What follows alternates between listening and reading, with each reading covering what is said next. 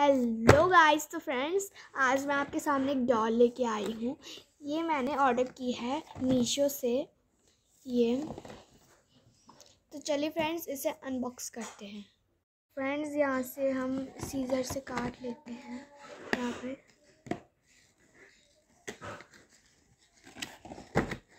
हम इससे निकाल लेते हैं। बॉक्स को साइड में रख देते हैं। फ्रेंड्स, ये हमारी डॉल अनबॉक्स हो चुकी है। कितनी ब्यूटीफुल डॉल आई है। इसके हेयर बहुत ब्यूटीफुल है। इसके फ्रेंड्स ये भी मूव होते हैं। और बैठ भी सकती है। इसके हाथ भी अच्छे से मूव हो रहे हैं। इसके साथ एक ब्रेसलेट पहना है तो फ्रेंड्स बाकी चीज़ों को खोल लेते हैं। तो फ्रेंड्स